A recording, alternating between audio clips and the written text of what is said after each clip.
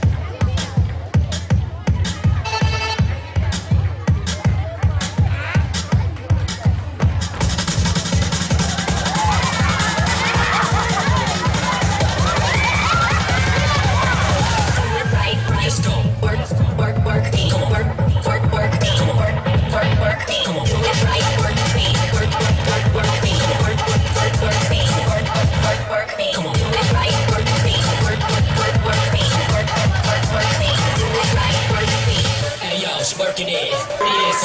Fuck you, I'm a dirty bitch.